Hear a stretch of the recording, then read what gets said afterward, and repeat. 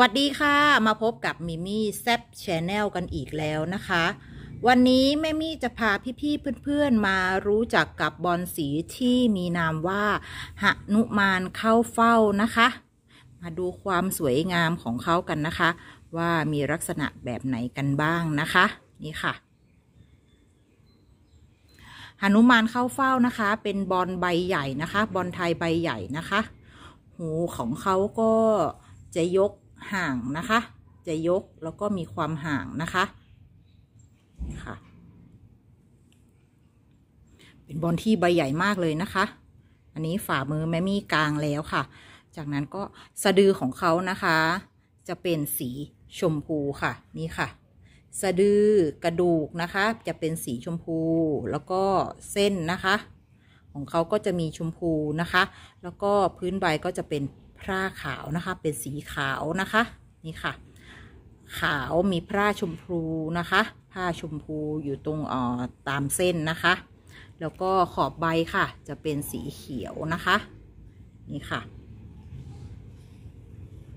ปลายแหลมนิดๆนะคะ สะโพกผายมากนะคะ สะโพกกว้างนะคะ นี่ค่ะ เป็นบอลที่ใบใหญ่มากๆเลยนะคะ จากนั้นเราจะมาดูก้านกันค่ะ ก้านของเขานะคะ เป็นที่สังเกตนะคะ ระหว่างหนุมานออเข้าเฝ้ากับอมพลับพลานะคะ เขาก็จะมีความต่างกันเล็กน้อยนะคะหนุมานเข้าเฝ้านะคะ ก็จะมีเสียไอมีสะพานนะคะ มีสะพานตรงนี้นะคะที่เป็นเส้นนะคะ เรียกว่าสะพานนะคะ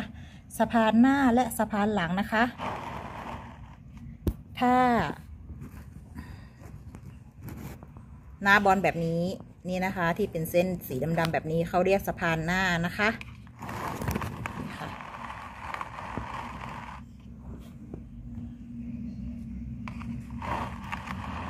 แล้วก็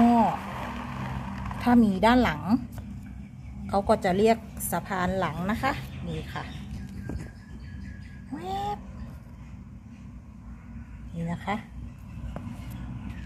ลำต้นก็จะเป็นสีสายบัวนะคะ สีแบบนี้เขาเรียกสีสายบัวนะคะ